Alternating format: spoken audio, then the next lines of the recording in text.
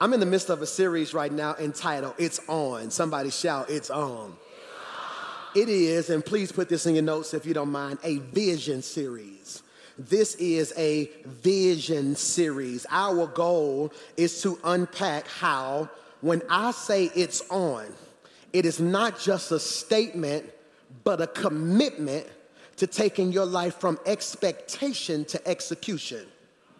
When I say it's on, it is not just a statement, it is also a commitment to taking your life from expectation to execution. Now, I'm gonna say this, and only three of y'all gonna catch this. Who's expecting something? See, that's why I missed nine o'clock service already. 11 o'clock, 12 o'clock, whoever y'all is, we started late.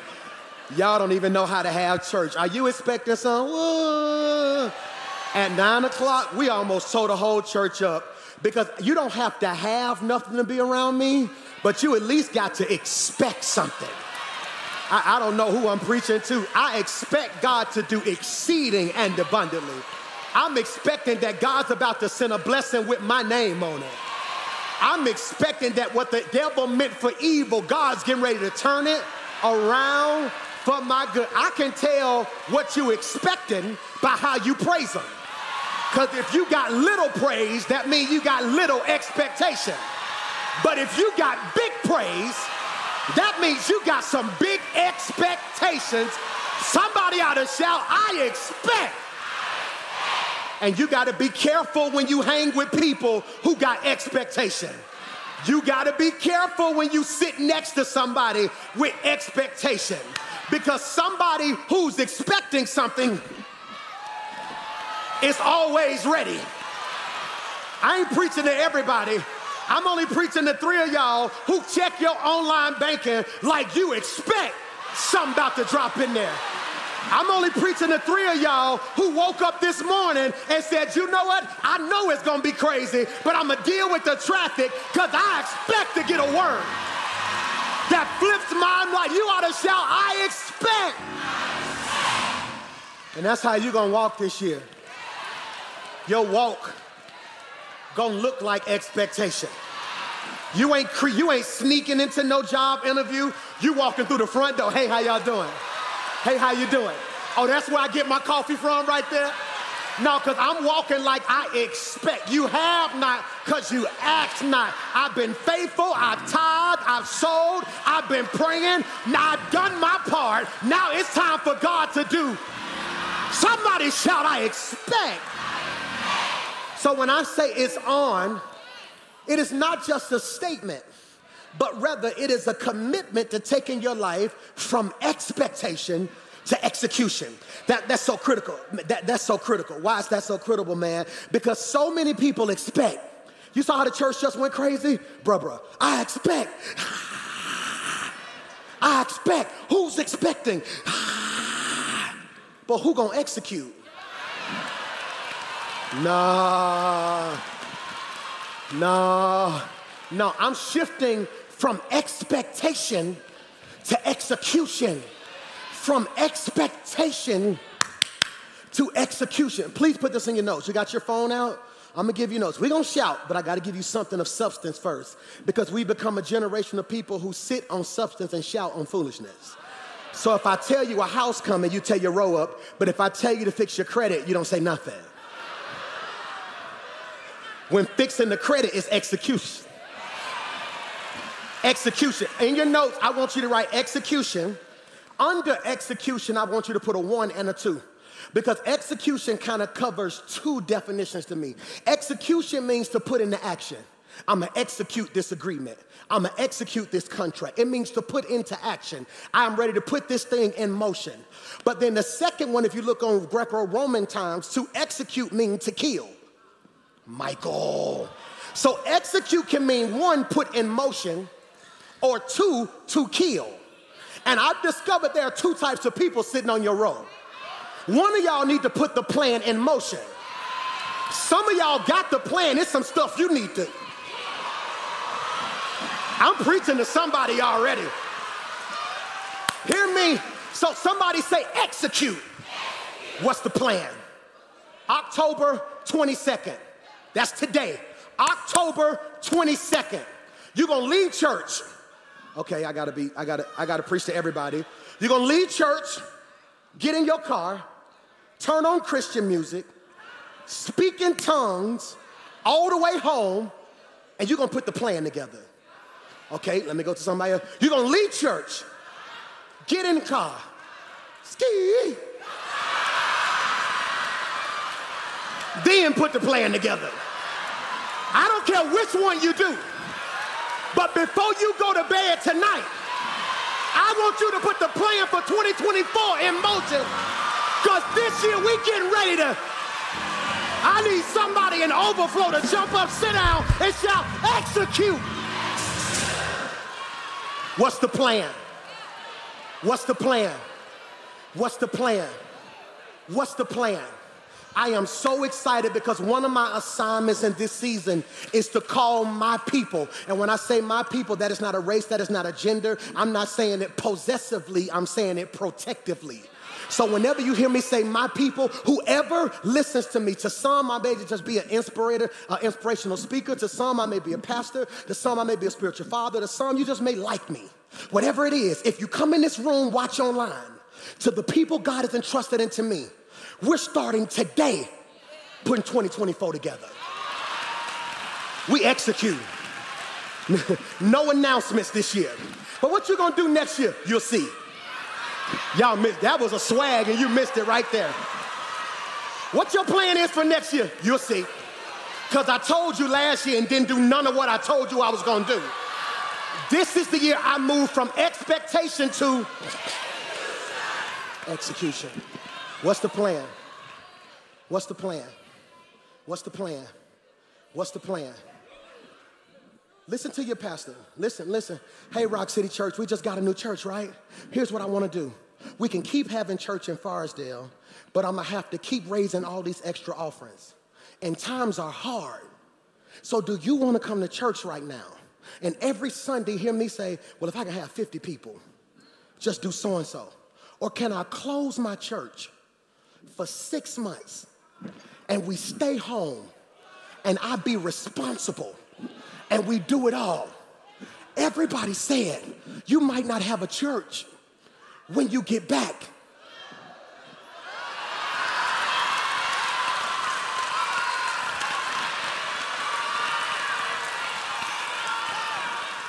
Because God will bless, put, put this in your notes, the prayed over plan.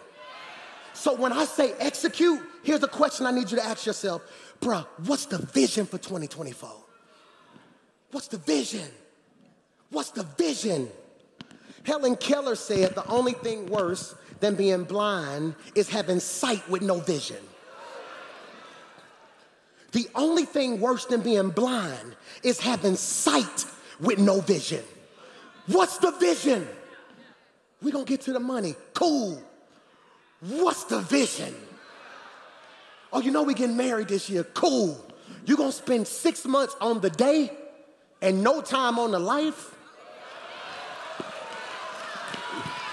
Don't meet with me no more and tell me how much you spent on your wedding. And you can't tell me how much you spent on your marriage.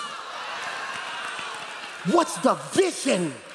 Why PMJ? I want to give you a definition. What's vision? Let's define it. What's vision? Let's define it. What's vision? Let's define it. Vision, hey twins, vision is a picture of God's preferred future for your life. That's what I mean when I say vision. Vision is a picture, snapshot, of God's preferred future for your life. You know why some of us will never be happy? Because your plan don't match his vision. I need to say that better. My granddaddy here is called syntax. You wanna know why some of us are always miserable? Because our plan don't match his picture. And his picture is what? The vision. Pastor Mike, if I ask you what's the vision right now, you're gonna tell me your plan. Have you talked to God about it? Ooh, have you talked to God about it? Well, Pastor Mike, what's your vision? Well, I'm gonna start a business next year. I'm gonna do so and so, so and so, so and so. What God say? What what what God say? Because I need you to catch this. The preferred picture, vision is a preferred picture of the future that God desires for you. Come here, Gideon, who's in a wine press. God rose up on Gideon and he tells him this enough to tell the whole church up Hey, Gideon, oh valiant warrior. You ain't shout. If I was at a Baptist church, we would have told the church up. See, I have to act all the sermons out for this church right here. Now, Gideon, oh valiant warrior. Why should I shout about that? Because Gideon had never fought a day in his life. Gideon was basically a farmer. God walks up on a farmer and calls him a warrior. Or, in other words, whenever God calls you, he gives you the picture in the calling. Michael, no, he called him something he wasn't because he realized, I'm almost scared to say this, there was more in him. I'm gonna say this, and you ain't got to say amen. I'm gonna preach to this side because I think they still sleep. There's more in you. Oh my God, I'm gonna have church by myself right here. I, am not trying to be bougie, I'm not trying to be arrogant, but lately I've been irritated, aggravated, and don't know why. Because God called me to do more than wake up, go to work, pay bills, and die. There's more in me. Uh, you sit next to a hater and don't even realize it, so reach over that hater and high five somebody else and tell them there's more in me. You ain't got to see it, I see it for myself. God put something in me that eyes have not seen and ears have not heard. But I've been so busy messing around with y'all that I'm about to miss my season for my vision. It's my season to execute. And many of us will never properly execute. Brother, we will never properly execute because we're in the wrong place. All right, you got your phone out? Overflow. Y'all got your phone out? All right, do this for me. Put this in your phone. If you old school, do I got anybody who still write notes? Where you at? Please, lift you. Thank you. Thank you. Thank you. Okay. All right. I want to say this from the beginning. I want to say this. Okay. This part that I'm going to tell y'all was so deep to me and my brother when we wrote it.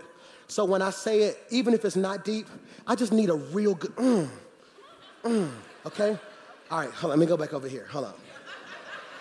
Bruh, bruh. Because there's certain stuff that won't happen because you're in the wrong place. I would like to, that, that, that wasn't it, that wasn't it, that wasn't it, that wasn't it. It's the principle. Wait till I get to the principle part, okay? Hold on, let's start over. It's the principle part. Thank you, thank you. All right, cool. All right, bruh, bruh, bruh, because there are certain things that won't happen because you're in the wrong place. I would like to introduce what I call the principle of the place. How I give you the answers and you still missed it? Put that in your notes. The principle of the place. What is the principle of the place, Pastor Mike? The principle of the place suggests that I cannot become the right person in the wrong place. I'm preaching today. Mom, I'm preaching today. I cannot become the right person in the wrong place. Michael, I cannot become the right person in the wrong place. Y'all, y'all gonna laugh at me. Y'all gonna laugh at me, right? Y'all gonna laugh at me. I wanted to do something crazy. I wanted to do something crazy, even if I had to pay for it myself. My dream was to have palm trees all around the church, right? I want you to come to Rock City and it felt like Miami. Like, soon as you came down the streets, I wanted palm trees. Then you know how they put the lights on the palm trees? Oh my God, I had found the people who did it, and my crazy self got the bill, right? I was like, cool, cool, um, no, we're gonna do that. Let's get them. I said, okay, okay, if that's how much the grown people palm tree, how much the baby palm tree that can grow? I couldn't afford the tall one, but I was gonna get the little one. In, in 20 years, it was gonna kill. If we were still here, it was gonna kill. All right, so I'm like, yeah, I wanna do palm trees. And the dealer messed around and asked me where to ship them to. I said, I'm in Birmingham, Alabama. He said, mm. He said, now my boss is gonna kill me. He, but I'm gonna be honest with you, I wouldn't make this purchase if I was you. I said, why? Because the ones we have require a certain place. Y'all missed it. He said, these are kind of for like Florida and, you know, Cali. He said, the weather is too fickle. One bad winter may take these out. He said, and to me, you'll lose all your money. He said, now it's my job to sell them. Watch this. He said, now if you want them, I'm still gonna sell them to you. I said, let me call you right back. And I started thinking about how many of us keep making bad investments in wrong places.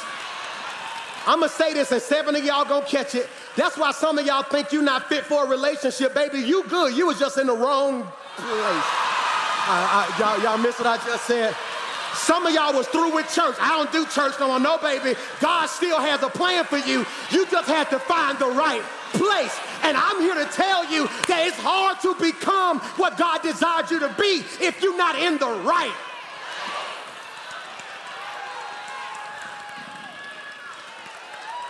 Why you changing? Why you changing? You don't even come over anymore. I'm sorry. Y'all was the wrong place. No, no. I love seeing people in the right place. I got a chance to hang with the mayor of Irondale during his festival and to see him love on his city. I'm like, God, he in the right place. I like going to Kobe's and, and hibachi restaurants and seeing the people at the thing and they roll up real cool, right? They roll up real cool, boom, roll up. They say, hey, who got this? Boom, who got this? Boom. And they put the little thing down, then they put the fire, whoosh. They put the fire down, then they make the sound.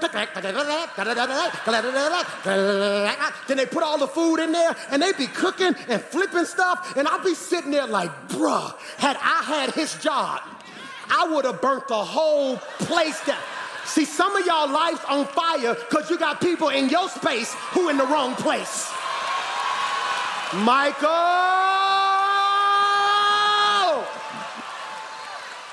And hear me. What's the vision? Question number two Are you in the right place?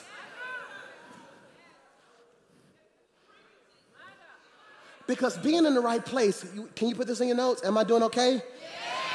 Okay, here we go. Here it is. My well being, I'm gonna say it slow. My well being is not just determined by who I am, but also by where I am.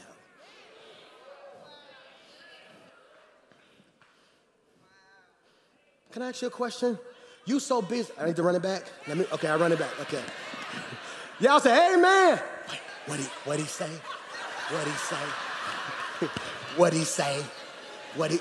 Here it is. My well-being is not just determined by who I am, but where I am. It's the place. Where am I? Am I surrounded by people who level me up? Yeah. God, we, we've been singing Impossible for years, right? Everybody who's been rocking at the rock for a while, y'all know we've been singing that song forever, right? All right, so it came time to make it an actual song. All I had was a melody. That's what it sounded like.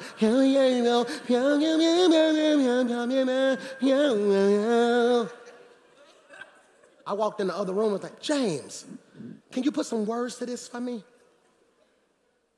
Y'all missed it. I didn't have to go looking. Watch this.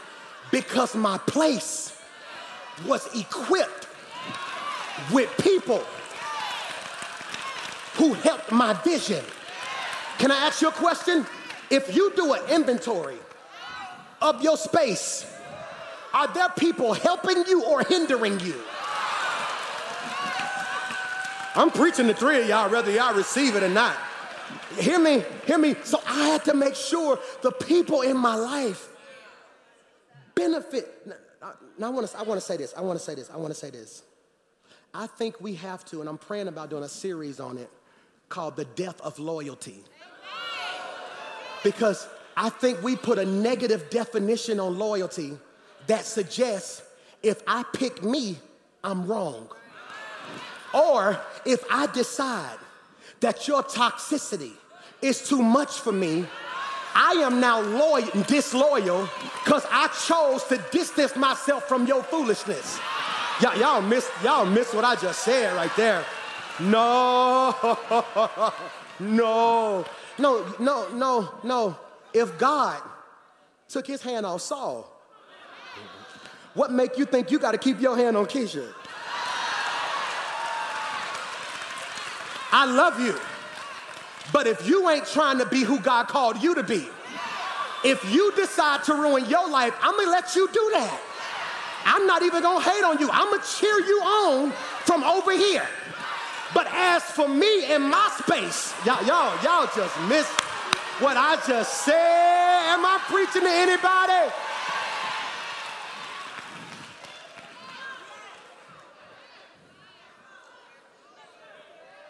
To illustrate the danger of being in the wrong place, one has to look no further than a very familiar Lucan passage in chapter 8, 15. Because it is in chapter 15 we see a text that we can take and make applicable to our lives. It is only in verse 15, chapter 15, that we begin to see Jesus tell parables. He tells a parable of a lost coin, a lost sheep, and a lost son. It's in the book of Luke. A lost coin, a lost sheep, and a lost son. Jesus tells the parable of the prodigal son so well, you think he a real person. Uh-oh. The prodigal son is not a real person. Jesus was having a conversation and had to tell a story. And he said, there was this one sheep, and he left the 99 to go get. Then there was a man who lost a coin. Then he said, to illustrate this point further, that one man, this can preach, had two sons. Oh my God. No, no, no, no. One man, my granddaddy here too, I'm a preach. One man had two sons. that right there can preach. It's right there on the screen. It says, a man had two sons. Now, here's my problem with how people preach this scripture. Because the story emphasizes the mistakes of the younger son, we give the older son a pass. When, if you think about it, both of them lost.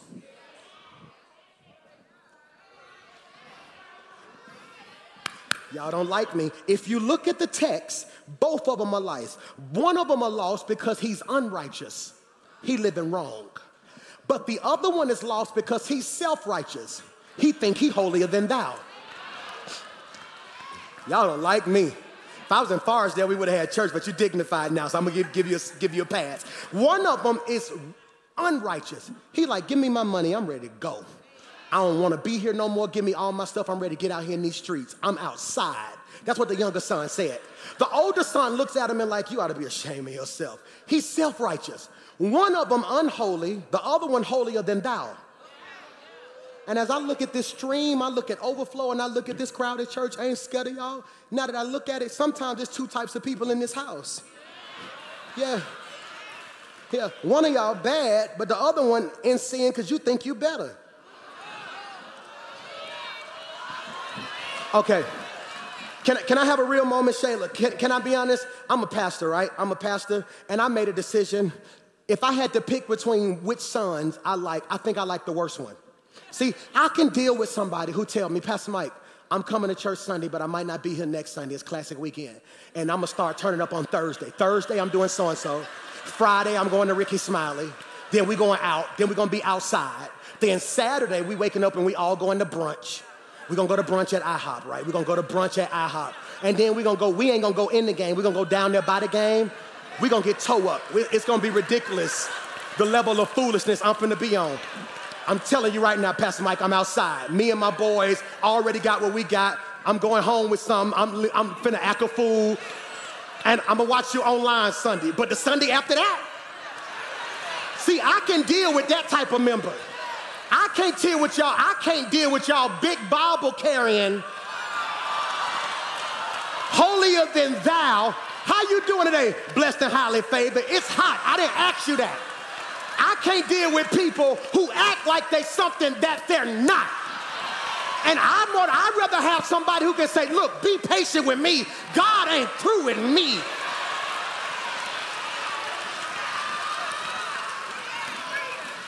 I'm not telling you it's okay to be bad. But at least be real. At least be real. And, he says, one son, one, one son, one son came to his daddy, the younger son. This is critical. That's what the scripture says, Leslie. The scripture literally says, and the younger son said to its father, Give me, that's critical, the younger son. Pause, parenthetically digress. Put this in your notes and we'll deal with it on Devo Energy. Everybody jump on Devo Energy in the morning. It's gonna be crazy, okay? Listen to me, I, I can't really deal with it like I want to, but to all my scholars and people who love to read and challenge the Bible, here's something that we have to examine. The Bible never tells me who's the oldest numerically. The Bible calls him the younger son, but it never says the one that's 20 and the one that's 26. It only says younger, which makes me ask the question is he younger because of immaturity? Because there's a difference between physical age and mental and emotional age. See, you 50 because you had 50 birthdays, but a lot of y'all 50 20. Y'all, y'all missed what I just said. ah! Some of y'all 45 19. Talking about mama got to have a life too, Jody. You 56 23. But then conversely, some of y'all 22 63. Because you young, but you had to grow up so fast. See, so the Bible says the younger, don't think he's young because of age. What if he's young because of emotional and psychological? If you see me and my brother standing outside, you might assume my brother's older than me. D's a, D carries himself a little bit more settled than me. I'm drippy. D ain't that drippy. No, D most, you know, D is more, D is more matter of fact. Hey, how you doing? Okay. Okay. Hallelujah. Hallelujah. I'm more, what up, fool? It's, it's just different. You get what I'm saying? It's just different. So you would think D was the oldest because he kind of more settled. That proves that younger is not always numerical. Okay, okay, okay. Because, let me say this right physical age is counted by birthdays. Psychological and emotional age is measured by emotional habits.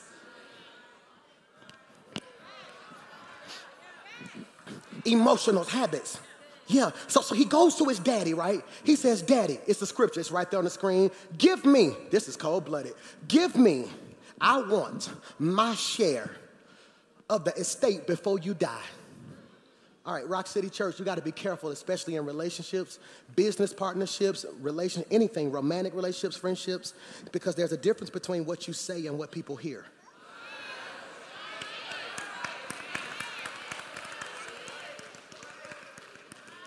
Yeah, like she she can ask you how this look. All you can say is it just look a little tight.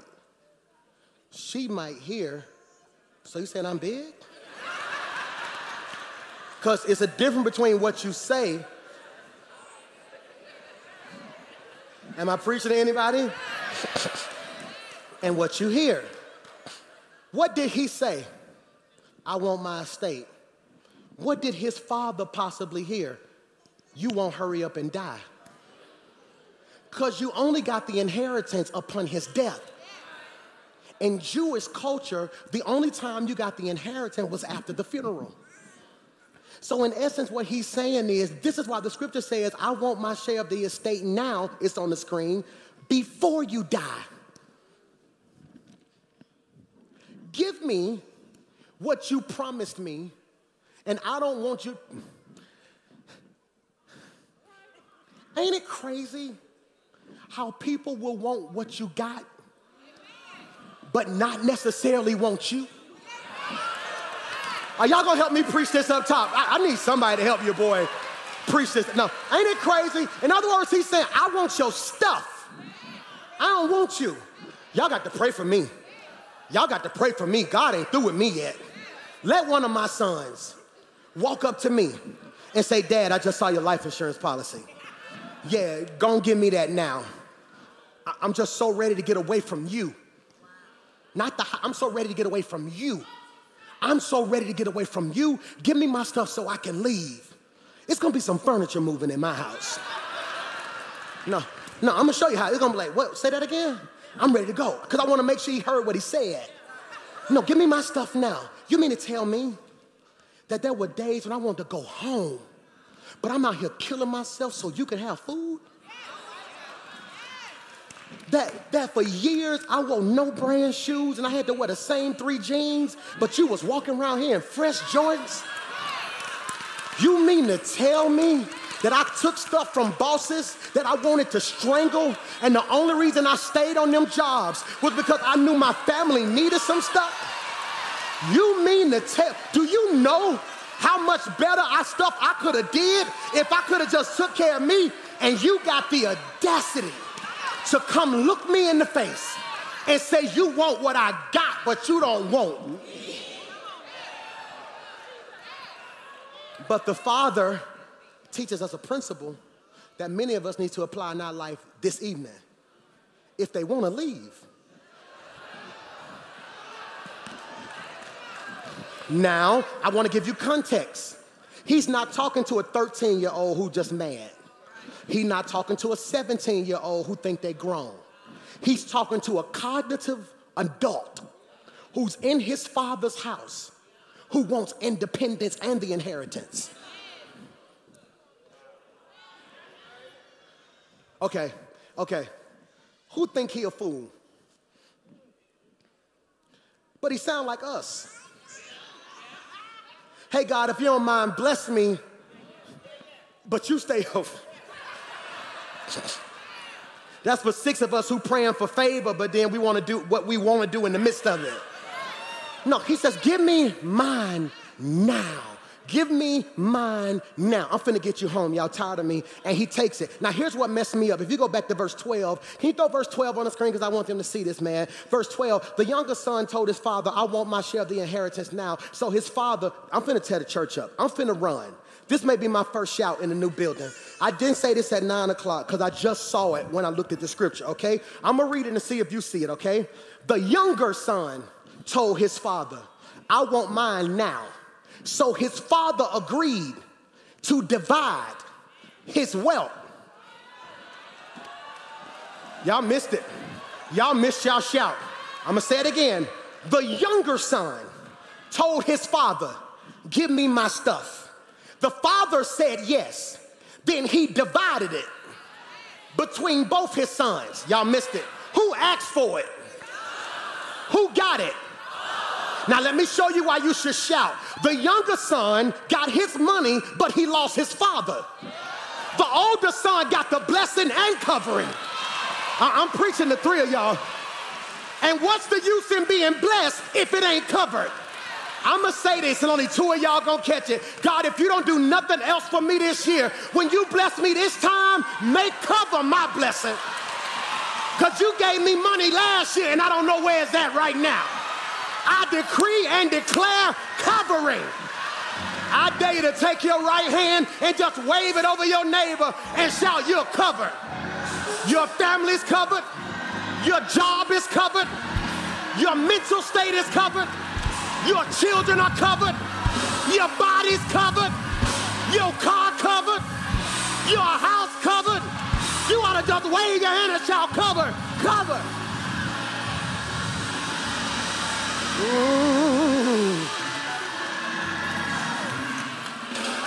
He, he, the oldest son, Michael, now I'm finna free you, okay? Xander's driving now, right? Xander's driving. So Xander will pull up. We, anywhere we go now, he act like he can't ride with the family, okay? Xander, we finna go get something. All right, cool. I'll meet you out there. I'm like, Xander, just get in the back seat. No, Dad, I'm gonna just drive. I got my car. I'm gonna just drive. I'm like, cool. So Xander called the audible, right? Hey, Dad. Hey, Dad. I know y'all finna go get something to eat or whatever. Um, but we were thinking about um, going to cheesecake. I was like, all right, man, I just wanted to kick it with y'all, but I, all right, man, just do your thing, man. All right, I love you. All right, all right, all right, all right. Then Mike says, I'm riding with dad. All right, all right, so that's how Mike, Mike said, I'm riding with dad. I, I, said, cool. All right, so, so then we get to our restaurant, get to our restaurant. Problem was, I gave everybody some money at the top of the week, right? Give everybody their money. We get to our restaurant, we eat, we laugh, we having a good time. My phone ring. Dad, what y'all eating? I said, we went to right there, right there, the Longhorns, right there on 280. We just eating a little something. Okay, cool, cool, cool, cool. All right, boom. Thursday roll around. Dad, you think I can get some gas money and something for lunch today? I said, where your money at? Well, you know, we went out to eat. I said, Mike, where your money at? Right here. I said, Mike, why you got money and Xander don't? He said, because you gave me the money, but I stayed by. Y'all, y'all, y'all miss what I just said? And I don't know who I'm preaching to. You can keep all the money, all the houses, all the cars. Just give me my father. The Bible says my father is rich. Yeah, yes.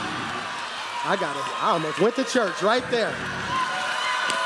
I'm only preaching to three of y'all who done ran out of money, but you didn't run out of God. That God did more for you than you ever could do for yourself. You ought to jump up, sit down, and shout, God covered me. He, he, and he, I gotta go. I got seven minutes, right? He covered. Seven minutes, seven minutes. The younger son said, Give me my money. Daddy says, Cool. Divide it down the middle. He divided down the middle, booyah. Give it to his son. Look at verse 12. He gets it. Altercation. Verse 13. A few days later, he leave. Separation. Go back to 12. Verse 12, I see an altercation. They get into it.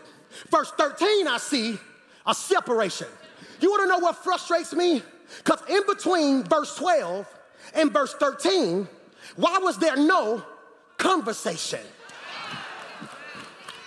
One, see, this is what, when I get to heaven and I get a chance to talk to Jesus, I'm gonna say, Jesus, you told a cold story, but I got a problem. In between verse 12 and verse 13, you don't tell me how many days that was. So, do you mean to tell me he was walking around the house mad? And you walking, and the daddy walking around the house in pride, and ain't nobody talking to each other? I'm finna run. Because you do know one conversation could have changed the whole thing. You don't believe me, okay? I know this, I know this dude from round the way, right? I know this dude from round the way who got caught in the act and got caught stealing, and they put him on the cross. All right, him and his other partner was two thieves. They on the cross. Just, I'm finna, just, just, yeah, yeah. You caught that real quick, didn't you? I, I know this brother from around the way. Him and his partner stole, robbed this bank. Right? They robbed the bank, but they got caught. Once they got caught, they got crucified, put on the cross. But just so happened the day they got crucified, Jesus got crucified too. All right, so, so on Jesus' left is a thief, and on his right is a thief. One of the thieves look at Jesus and begins to mock him. Both of them decide to have a conversation with divinity. Y'all miss what I just said. This one says, you supposed to be God. You ought to just get down for him if you're really who they say you are. But then the other thief realized, I don't got that many breaths left. I'm having church by myself. So I'm gonna have a conversation. And he looks at Jesus and says, When you come into your kingdom, Michael, remember me. Y'all, y'all miss what I just said. He could have sat there and just thought about his mistake. But he said, I'm not about to allow this moment to be missed. I'm gonna have a conversation. And he says, When you come, when you come to your kingdom, remember me. Then Jesus says, if he crazy enough to talk to me, I'm crazy enough to answer. Then Jesus says, today, y- y'all, y'all missed it. Y- y'all missed it. Y'all missed it. Y'all missed it. Today, you will be with me in paradise. Now, now, now y'all missed it. Y'all, y'all missed it. Y'all missed it. Y'all missed it. This thief died and went to hell. This thief walking around in paradise. His whole life might have been jacked up, but one conversation. Can I speak this? And if I speak this, you ought to jump on your feet. You are one prayer away from God changing your whole life. I'm gonna give you 30 seconds. Let everything. Look at your neighbor and say, I'm one prayer away, one prayer. One prayer away. Hear me? I gotta go. Three minutes. Three minutes. Y'all gonna let me borrow three minutes? Nobody say nothing. Nobody say nothing. He get his stuff. All right, I'll holler at y'all. I won't be back. Yeah, you stay in there with daddy. You was always his favorite anyway. No, I'm out here. Bye. Bye. Won't see me again won't see me again. And the scripture says, he took all his belongings, to a distant land. Ooh, and there he wasted all his money. Pause, put a pin in that. He wasted his what? Money. Did his daddy give him money? No. His daddy wouldn't have gave him money. His inheritance would have been livestock, cattle, land, deeds. His daddy handed him 40 acres over here, 35 cattle, some over here, maybe some coins. And he took his inheritance and he pawned it. Michael. And uh, see, and you don't get this because whenever you pawn something, you do not get what it's worth. You get what you can. Michael, that's why you might need to think back on certain people who in your life and realize they probably wouldn't have been in your life had you not been in the place you was in because they caught you at a price that you really I gotta go.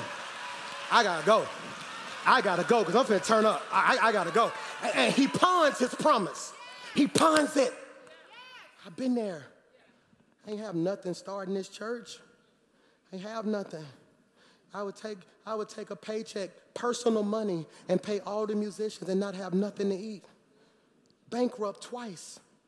I would take everything I had. They would tell us, hey, we got to get musicians this week. I would take the TV off the wall, go right there on Roebuck Parkway to the pawn shop, pawn it, get about $300, walk in church Sunday, I'm like, how much I got to pay this musician? 100? Boom. How much you get? 100? Boom. How much you get? 100? And be smiling. Because sometimes you just do what you got to do. Yeah. Right there off of exit 133 Kilgore Memorial. I had good parents. Had I told my mom and dad I was struggling, they would have did whatever it took to took care of me, but I was in pride. I didn't want them to see me like that. I wanted to prove to them that I could handle it. And I, you know what? I'm at exit 133, the Rhyme Garden Inn off Kilgore Memorial, every Friday, rolling quarters, trying to get money to just stay another five days. I know what it's like to be priceless, but on sale.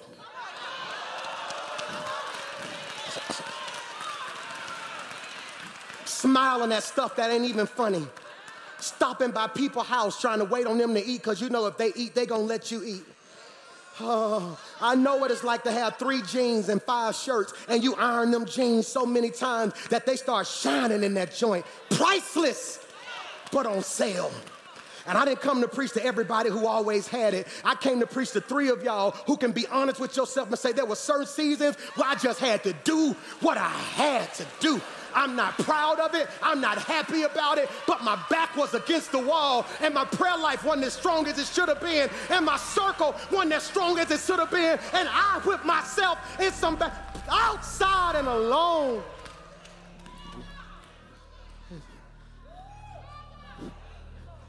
We got all this money, and it's up. When I say it's up, it's up.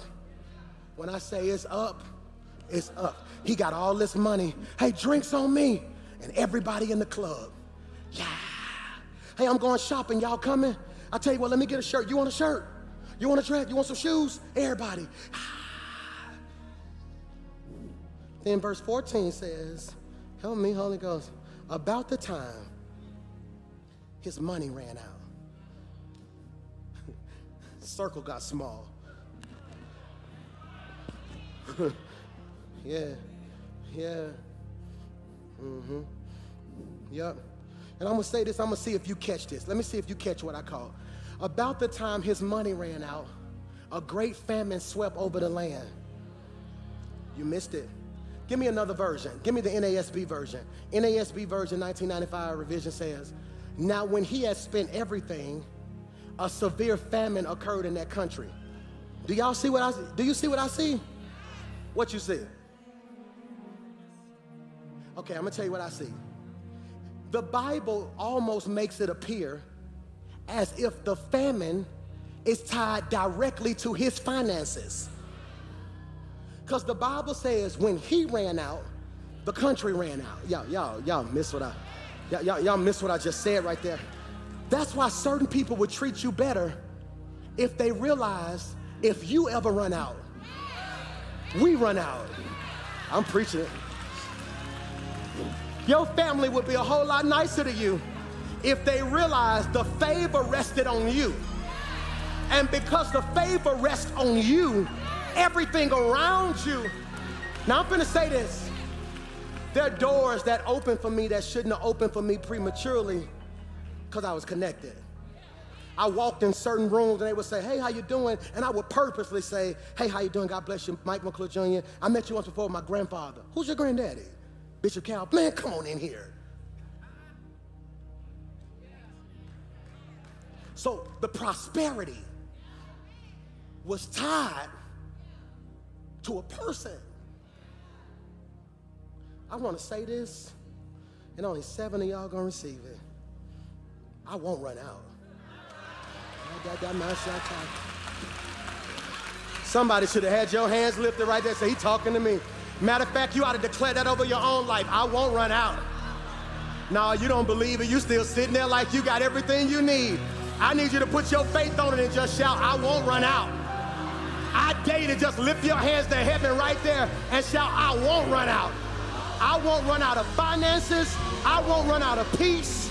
I won't run out of joy. I won't run out of creative ideas. I won't run out of business plans. I won't run out of resources. I won't run out of gifting. I won't run. You ought to shout, I won't run out. I won't run.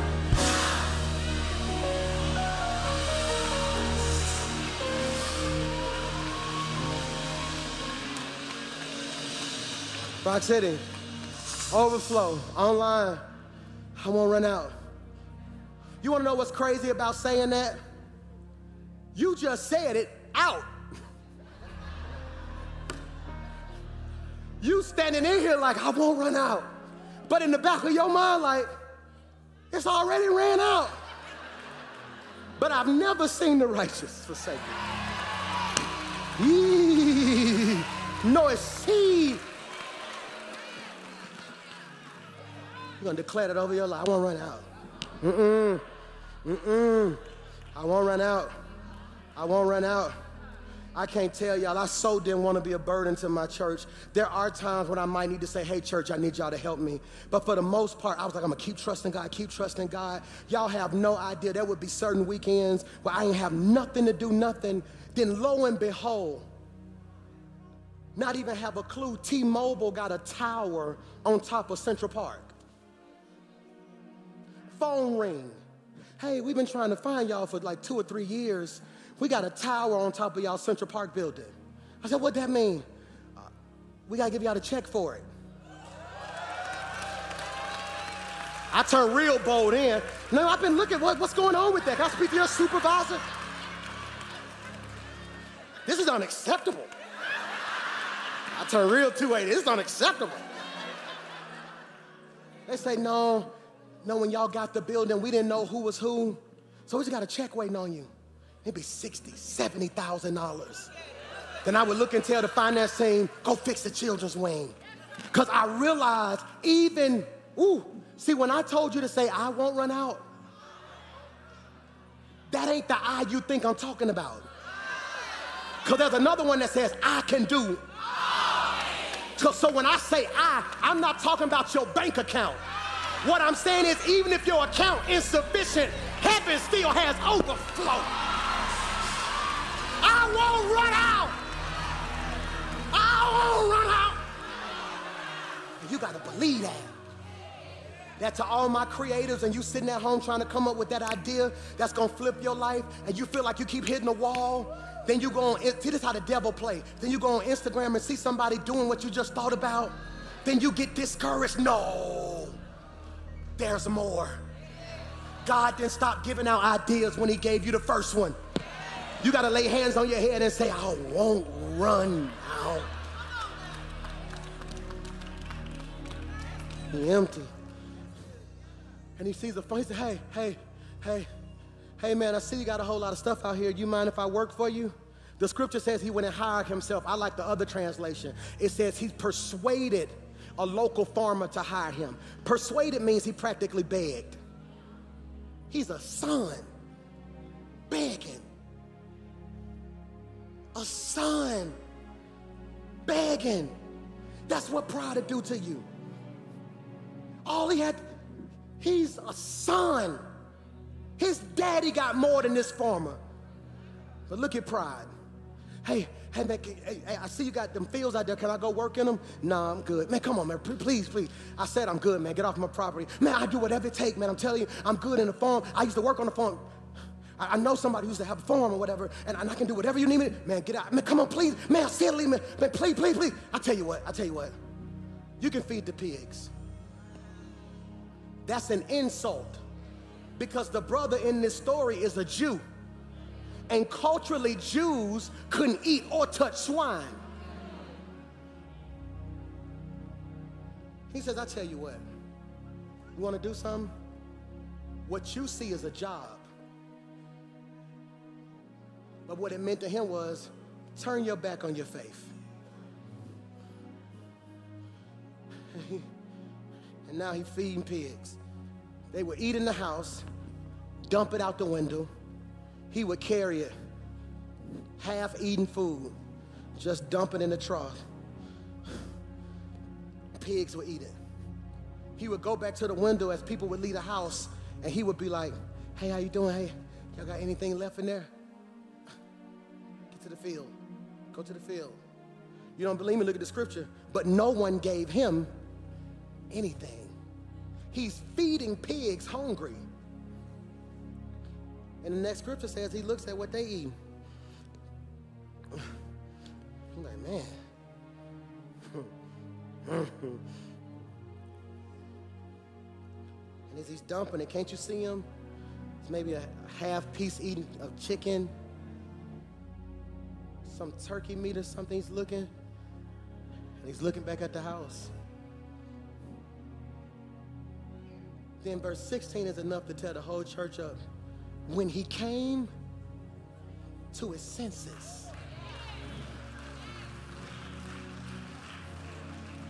Can, can I ask you a question?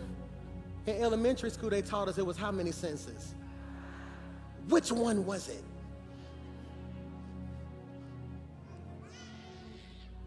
Did he reach in there to touch it?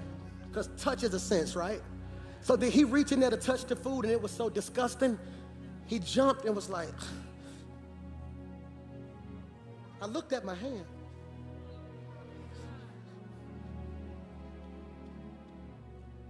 Was he about to eat it? Hearing? And somebody in the window was like, ugh, look at him. And he heard. Taste. Did he actually eat it? And then as he tasted it, he was like, did he look at it? It couldn't have been sight because that's what his job was. He looked at it every day. Can I tell you what I think it was? You ever seen a person get knocked out and they have to put the stuff on his nose? And fellas, what he do instantly?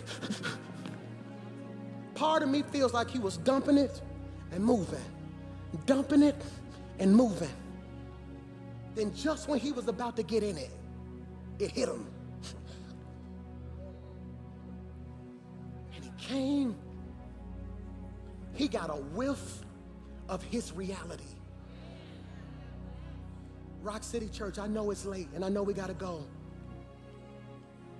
But do you know what it's like to get a whiff of your own mess?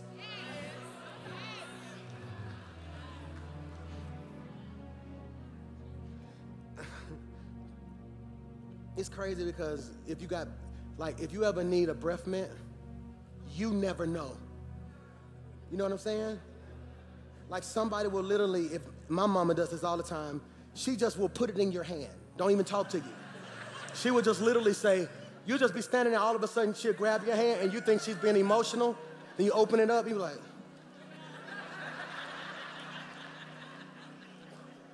you can't ever smell it but the people around you do. Uh, don't laugh when I say this. But how many of you have ever had a day where it hit you? Where you literally said, ooh.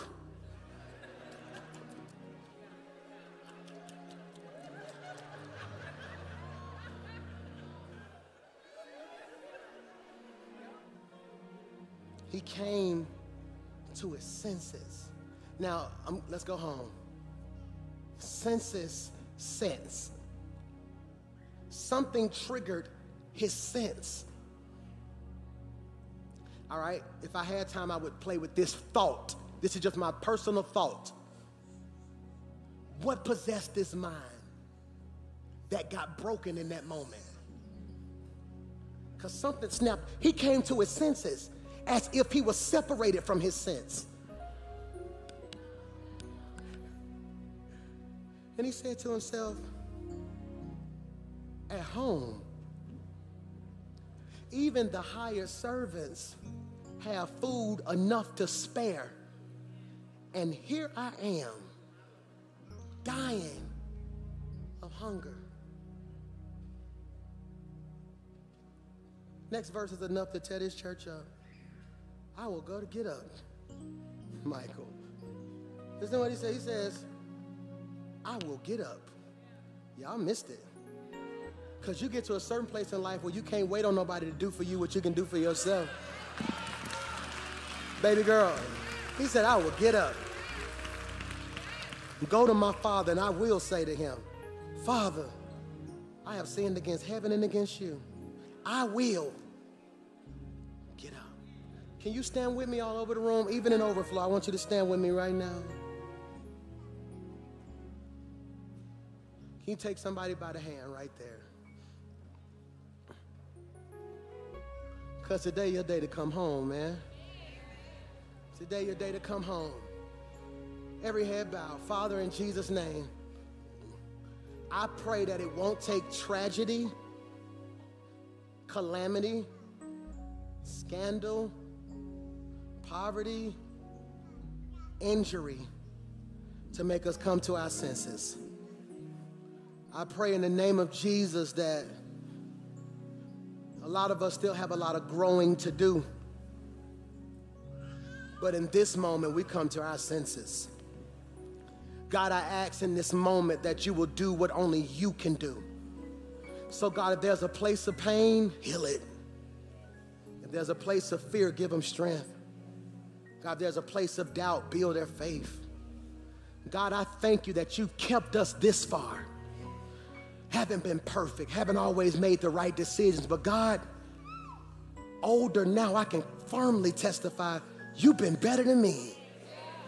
Whew, than I've been to myself. God, you've been good. Even when I wasn't good, God, you've been good. So, God, right now, we welcome. There's somebody in this room right now that maybe you don't know Jesus. Pastor Mike, I just came, I was invited. But honestly, man, hearing you talk today, I want to give my life to Jesus. Honestly, I don't know what would happen if I walked out that door right now and things didn't go the way I needed to go. I just want you to squeeze that person's hand you're holding right there. Squeeze their hand right there. Or maybe, Pastor Mike, I need a church home. I'm being honest with you, Pastor. I'm out here, man, and I feel spiritually lost between YouTube and my friends telling me all type of crazy stuff about the history and what's this and what's that. In my heart, I feel like God is the only way. The only way to God is through Jesus Christ. I need a home, man. Squeeze that neighbor's hand. It's real easy. Or maybe you hear you're saved, but you just need to rededicate your life to Christ. Hear me when I say this, man, that Pastor Mike, I gave my life to Jesus, but every now and then I just need to refocus get myself back. I've been I've been watching you online, but truth of the matter is I ain't been as locked as I should be. Like I need to be in church. I need to be around people. I need days like today. Just squeeze your neighbor's hand if that's you. yeah, that my If you had somebody squeeze your hand, can you just lift that hand in the air right there? Look at God, man. Lift that hand in the air.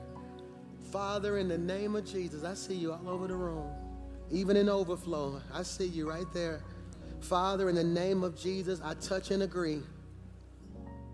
Fresh starts and new beginnings. I speak fresh starts and new beginnings.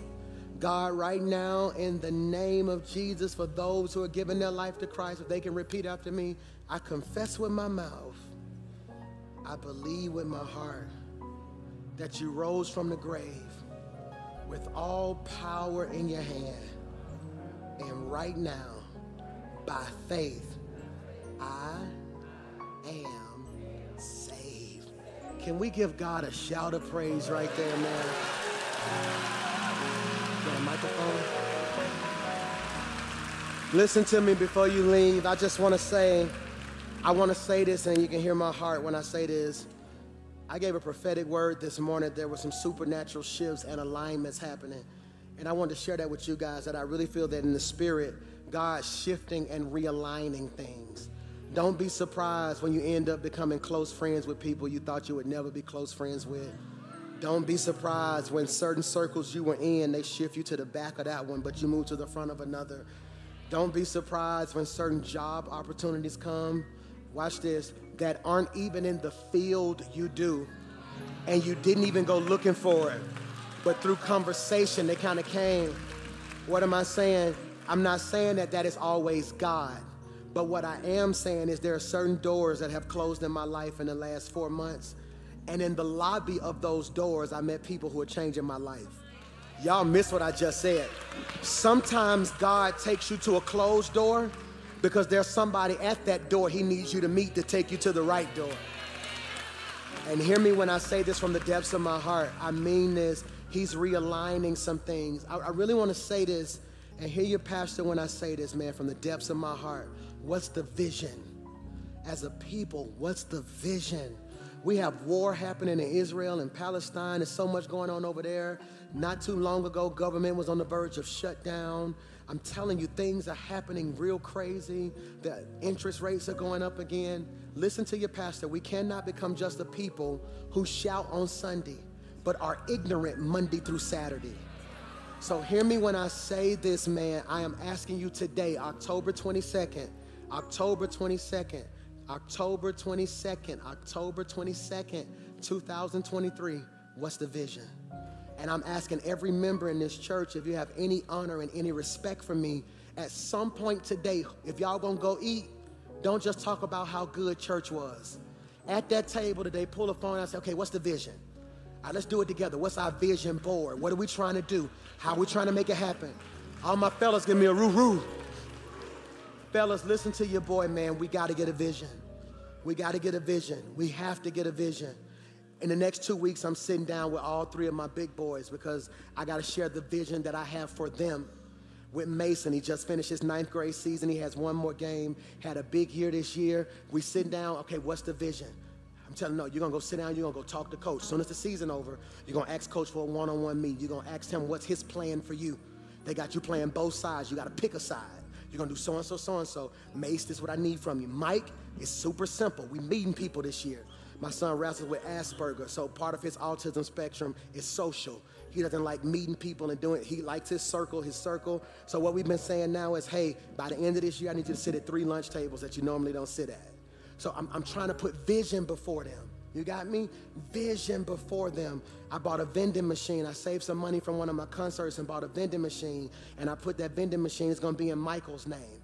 And that's gonna be his business. So, what I'm doing with my three boys is all three of them will have a business that one of them will run, but the other two have to work for the other two. That way they can learn how to run one and serve in one. You see what I'm saying? So, hear me. I went on Facebook Market we went on Facebook Market, bought a bouncy house. That's one. Bought a bought a, uh, a, a vending machine. That's one. And we're thinking about what we want to do with Xander and said, I'm trying to put vision before him. And hear me when I say this, church. We put so much emphasis on praise breaks and not enough on helping people become better outside of church on Sunday. Hear me. My grandfather, my auntie, their generation, my uncle, they got us rights we have to move now from civil rights to silver rights. Did you catch what I just said? That, hear me, Dr. King was killed because he was trying to give finances to people. And what I'm telling you now is, as, as you leave here today, if we're not careful, we leave church saying we had good church but don't remember nothing. I want the last thing you heard from your pastor on the biggest Sunday he could have was, what's the plan that God got for you? and how can we come together and make that happen and be all that God called us to be? Because I'm gonna say this, and only three of y'all gonna catch it. I'm not gonna run out.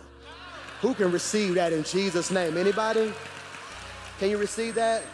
If you're giving today, you know how to give your offering. I'm not gonna hound you over that. You can text iRock with the amount you wish to give to 28950. Where my tithers at? Throw your hands up, tithers. You can text to give I Rock with the amount you wish to give to 28950. If you want to give on your way out, I think they may have receptacles in the back. Uh, they have a vest on. You can give that way. I certainly thank God for each and every one of you. I love you. To everybody who sat in traffic, hear me when I say this. It means the world to me. It, that's why when you saw, I was out there trying to direct traffic. I'm walking through the halls trying to figure out where I can get stuff from. I think I found a couch in a room over here. Said, y'all, y'all get on the couch. That's the VIP couch right there. You sit on that VIP couch. It means the world to me. I don't take it for granted. I love you from the depths of my heart. Thank y'all for letting me be me. That means the world to me, man. Just thank you for not putting pressure on me to be something that I'm not. And you allow me to be myself, and that means the world to me. I love you so much. Were you blessed today? Come on, were you blessed today? Okay, do me a favor. If you have a child in children's church, do not go to brunch and try to come back and get them. You go get your child. The moment I pray, I want you to go get your child. Have somebody leave a child at nine o'clock. Then Tom said, we went and got some breakfast. No, this ain't free child care. Go get your child. In Jesus' name, all right? Every hand lifted, I want to pray a special prayer. Lord, your will. Nothing more, nothing less, nothing else. It's in Jesus' name we pray. And everybody said, Amen. I love you. We are. I'll see y'all next Sunday. God bless you. Wow, we are Rock City. I, I, I got to say something. I won't run out. I won't run out. Somebody is watching online. You can put in the comments, I won't run yes, out. Yes, God. Listen, we Yeah. are so incredibly excited about all that God is doing. Yeah. This is just a sneak peek. Thousands of folks made their way to Birmingham today Thousands. from the north, south, east, and west. Hundreds of folks stood in, uh, in lines, traffic. I mean, it's just, it's crazy. It's, it's that I'm at a loss for words. It's, Yeah. When you really look at all that God did, like I said Goodness earlier, gracious. He exceeded our expectations. Yes. You know, He did more than we would ever ask, think, or imagine. And to see so many people, lives who were changed, you Yes, could see God. the oil that was in the room. You could feel the presence of God in the room. And it's just really been an amazing. Listen, if you were blessed like that, some of you say, you know what, James, I want to become a part of the Rock City family. Uh, I want to give my life to Christ. It's very simple. All you got to do is text home to 28950 and we will get you the information that you need. That's home to 28950. And of course, like Pastor said, we're not going to Yep. press you on an offering. You know what you're supposed to do if you're That's giving right. today. How can you do that? Absolutely. You see the information on the screen. You can text I Rock the amount to 28950.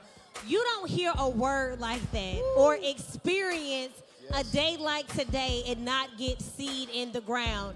Pastor Mike really charged us coming out of today to think about the vision. What is the vision? Yes. Not just for now, but 2024 and the future.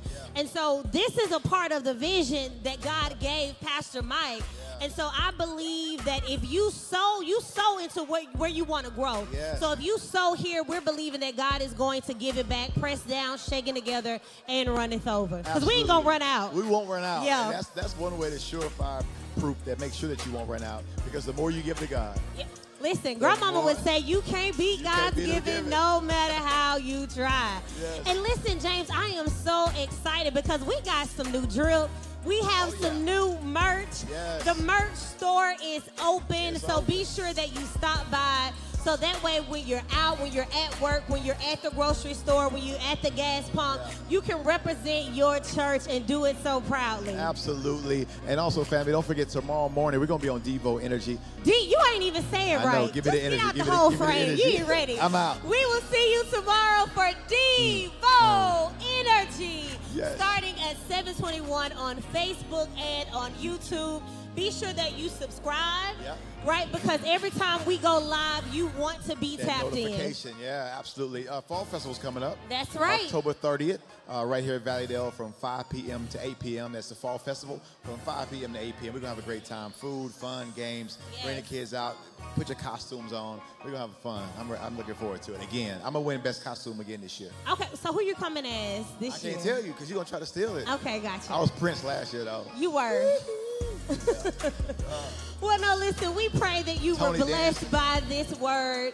Um, look, sharing is caring. You late. can share this message on the replay. We Yeah. want to make sure uh, that everyone associate associated to us with Yeah. us has an opportunity to hear it. Man, God is doing incredible things, and we're just excited to be a part of it. Yes, we are. Family, don't forget, once again, we will see you tomorrow for Devo. Bright and early, For Devo Energy, 721 a.m. 721. Central Standard Yes, Time. sir. God bless you. We love you. Peace. Peace.